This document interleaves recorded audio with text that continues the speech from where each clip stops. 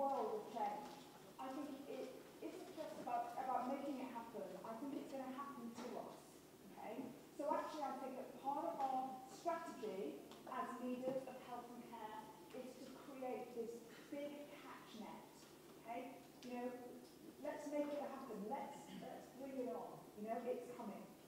And what I'd like to talk to you about in the next 15 minutes is just some themes and ideas and some practical approaches in terms of uh, making it happen with change into the future.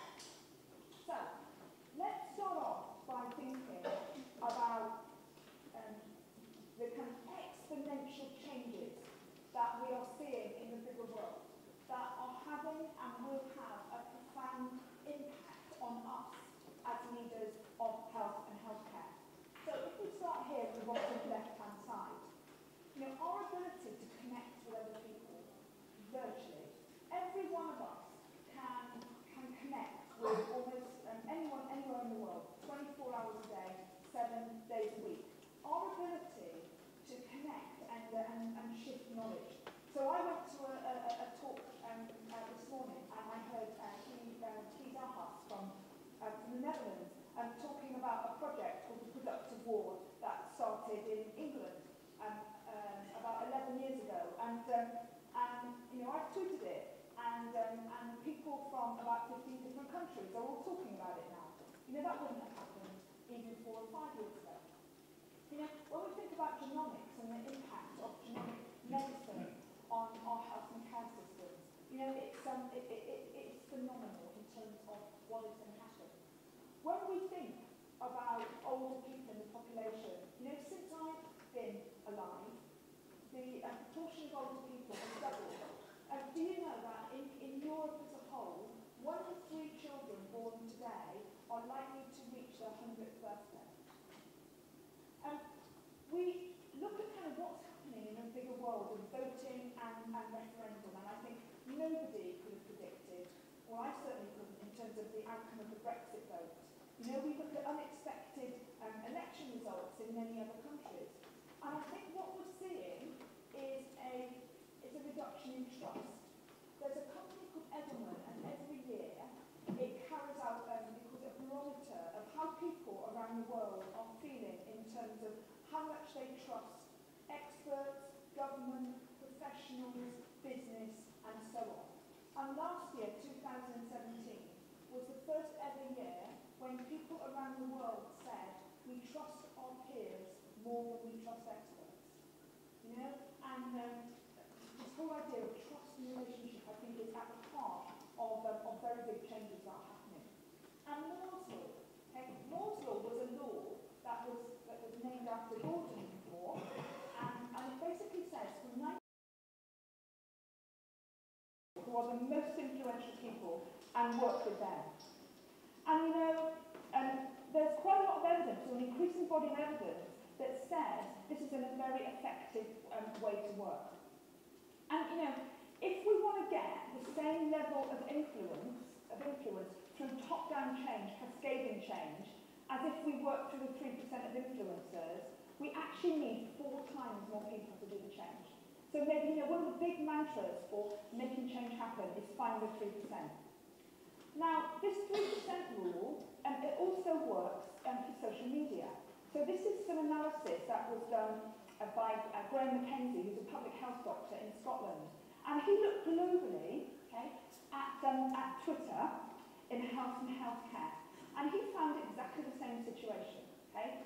If you look at 85% of the content that gets retweeted, it comes from just 3% of people um, who retweet. Okay? This looks a bit complicated.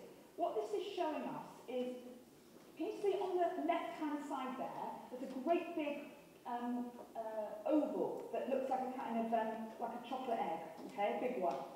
Okay, that is the, the social media traffic of, of, I won't say who it is, a very large corporate body in healthcare in England.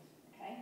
And this corporate body, you could look at what they do on social media and say they are very successful because they have 225,000 followers and they have a communications team and every day they are putting out you know, uh, lots and lots of um, important information on Twitter. You know, they're telling people that they, uh, you know, uh, flu vaccinations, um, stroke pathways, um, public health, you know, they're, they're putting it out. So again, on the left-hand side, of uh, that, that big oval shape, you know, a lot of activity.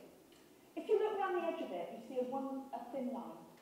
What that thin line is telling us is the reality is that that big corporate healthcare body okay, is doing a lot of broadcasting, it's putting a lot of messages out, but nobody is really picking them up, and nobody is passing them on to other people. It's just broad, they're just broadcasting out.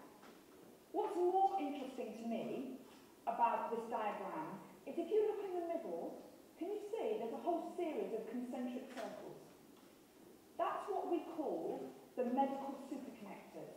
Okay? These are clinicians, typically doctors, who are very influential on social media. They are the 3%.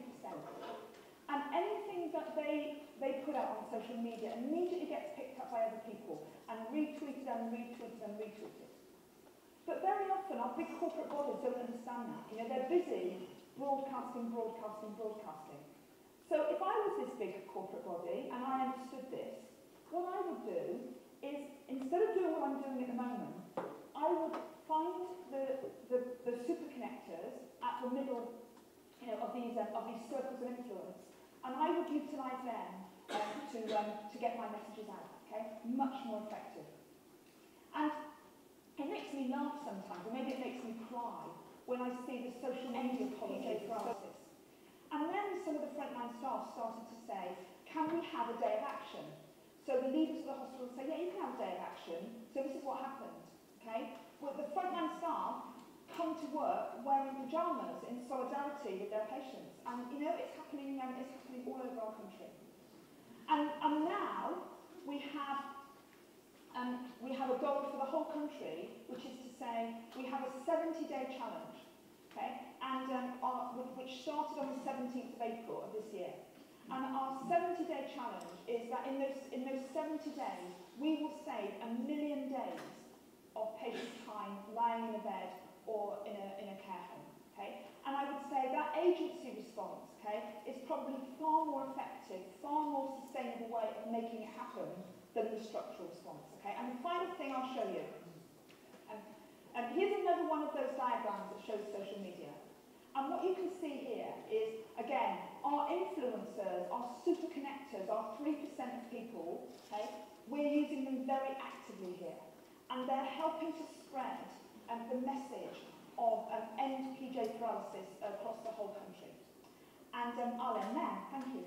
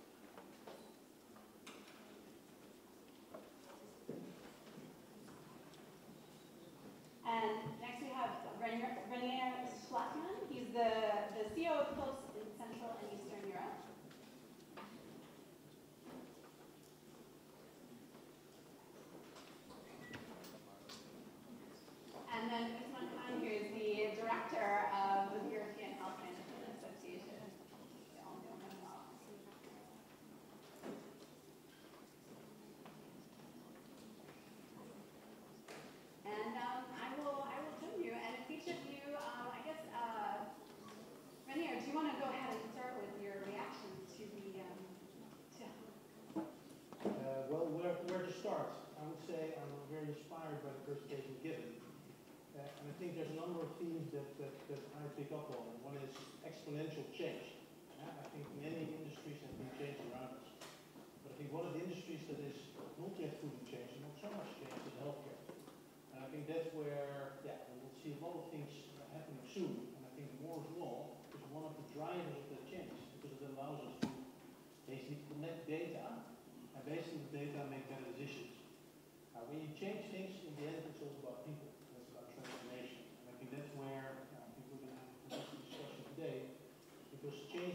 so easy. change and disruptive change uh, at the same time.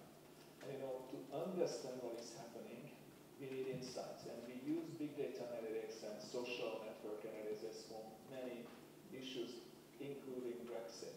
And you know, there were two very interesting points in the in the 25 most frequently co-mentioned words of the pro-Brexit social media, uh, the EU. One of them was fired by Cambridge Analytica, and, and we did not know at the time we did the analysis that we are tracing Cambridge Ana- Analytica for tobacco activism, but it was menthol cigarette and e-cigarette and tobacco. This was among, these pro-tobacco messages were among the 25 most frequently co-mentioned uh, terms in the bre- pro-Brexit activism. So tracing the true processes, we need digital insights. Uh, so this is, so I think digitization uh, will change the world, and without digital innovation, we will not be able to provide help. Thank you. And now it's an opportunity for you to ask questions. Um, so um, try any. Please feel free to, to raise your hand, and I will, um, or I will use my moderator's prerogative to dive in. All right, I'll start. Um, all right, and then I'll get, and then I'll get you next. Um, so uh, uh, Helen, as I mentioned uh, at the beginning, um, UK is preparing to embark on an overhaul of the National Health Service. Um, how do you see your ideas of, of agency and, and these new forms of power? Are you confident that they will be incorporated into this overhaul? And I think we're seeing very um, big changes, Sarah, um, in um, in uh, the, the way that we um, we provide and deliver health and healthcare um, in um, in England. And I think one of the um, shifts is towards um, integrated health systems. And you know we you know we've come from um, uh, you know kind of um, two decades of, of health policy that's been built on on um, on competition. And in a sense, I think that we uh, we've created a leadership system which is about um, um, independent organisations um, competing against each other for, for patients um, and um, and for, for funding.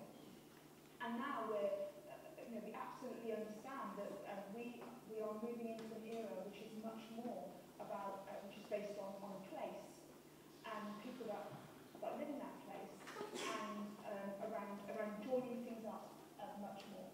So, you know, the conversations that are going on now about the relationship between mental health and physical health are, um, we've never had those kind of conversations before. But it means that we need a different kind of leadership, okay? That we need, um, we need to be moving from like independent leadership of, of people that run hospitals very well to interdependent leadership, which means um, groups of leaders coming together um, a, a, across systems and, um, and, and leading together. And being that kind of system leader, you can't have winners and losers. You know, it's, it's about it's about win-win, and and it's based on trust. You know, one of the things that we say is it's system. on, on Huva that, that sort of um, articulates these ideas in another way. And this person asks, so should we be saying it's happening? Should we make it happen? It's already happening. And what should we be doing to support that? So I think I think it is happening, and we can make it happen. Um, because I think that um, the fact it is happening creates so many opportunities for us, um, you know, to, to, work in different ways. And in a sense, it's about, um, you know, like catching the catching the crest of the, wave. Um, and you know, but yes, so so many um, opportunities to, to work in different ways. So you know, how can we work in, in fundamentally different ways with our um, with our patients, with families, you know, with the um, uh, with the wider public. You know, how can we build um, co-production into um, ev- everything we do? And you know, how can we work in, in, in different and amazing ways with our um, with our frontline colleagues? Um, you know, uh, how can we um, uh, you know find our influences? Like, do you know who your three percent are in your organisation? Um, uh, because actually they're the people that have got the most power to make change happen. So instead of carrying on doing things in the way that, that we're doing, you know, let's find out who are the most significant influencers and, and bring them um, our, our change process. And I think that's a very big part of um, of making it happen. And I think that actually I would say the most important part for, for each one of us in terms of making it happen is is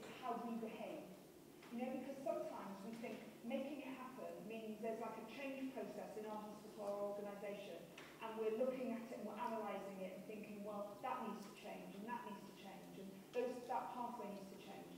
But actually, you know, I think that one of the, the, the most important aspects of this is that we are the change, you know, and every, people are hanging on to our every word and our deed and it's massively amplified. And in a sense, you know, what we do as individual leaders, I think, um, um, makes the biggest difference. And, um, you know, we have this, uh, we have this Dutch proverb that says, trust um, comes in like a tortoise and it goes out like a horse. and I think that, you know, um, you know, we have to understand that it, will take us a long time to build trust. And then when we have it, it's a very uh, precious thing. And, uh, and, and we have to kind of